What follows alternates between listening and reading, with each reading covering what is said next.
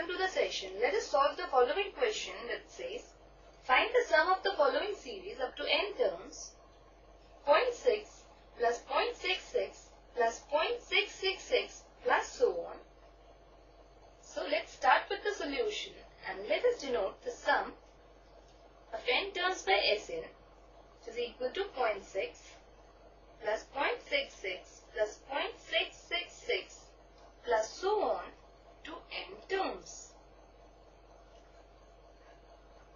Now let us take 6 common.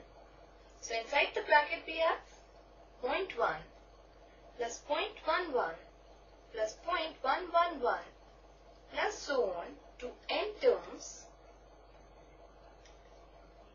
Now this is further equal to 6 into 1 upon 10 plus 11 upon 100 plus 111 upon 1000 plus to n terms. Now multiplying the numerator and denominator by 9, we have 6 upon 9 into 9 upon 10 plus 99 upon 100 plus 999 upon 1000 plus so on to n terms which is further equal to 6 upon 9 and 9 upon 10 can be written as 1 minus 1 upon 10 plus 99 upon 100 can be written as 1 minus 1 upon 100 plus 999 upon 1000 can be written as 1 minus 1 upon 1000 and so on to n terms. Which further implies that 6 upon 9 into 1 plus 1 plus 1 n times minus 6 upon 9 into 1 upon 10 plus 1 upon 10 square plus 1 upon 10 cube plus so on to n terms.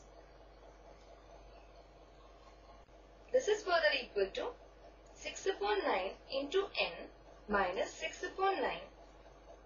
Now this is a GP series whose ratio is 1 upon 10 which is less than 1 and the first term is a.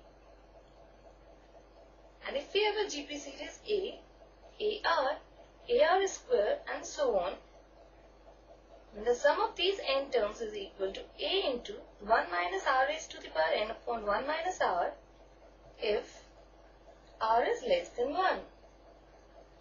And A is the first term and R is the common ratio. Now, here this is the GP where A is the first term. So A is 1 upon 10 and the common ratio is again 1 upon 10. So this can be written as 1 upon 10 into 1 minus 1 upon 10 raised to the power n upon 1 minus 1 upon 10.